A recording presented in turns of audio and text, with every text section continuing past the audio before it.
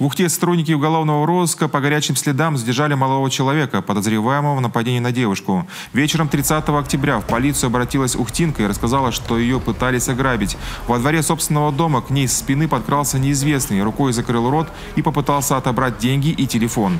Женщина сопротивлялась, но нападавший был сильнее. Налетчик почти осуществил задуманное, но увидев случайных прохожих, испугался и убежал.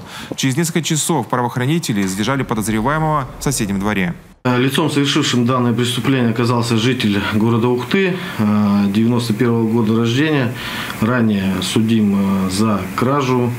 Э, в отделе полиции при беседе с оперуполномоченным уголовного розыска он дал признательные показания, пояснил, что находился в состоянии сильного алкогольного опьянения, хотел, не было денег на дальнейшую покупку алкоголя, и он решил совершить данное преступление.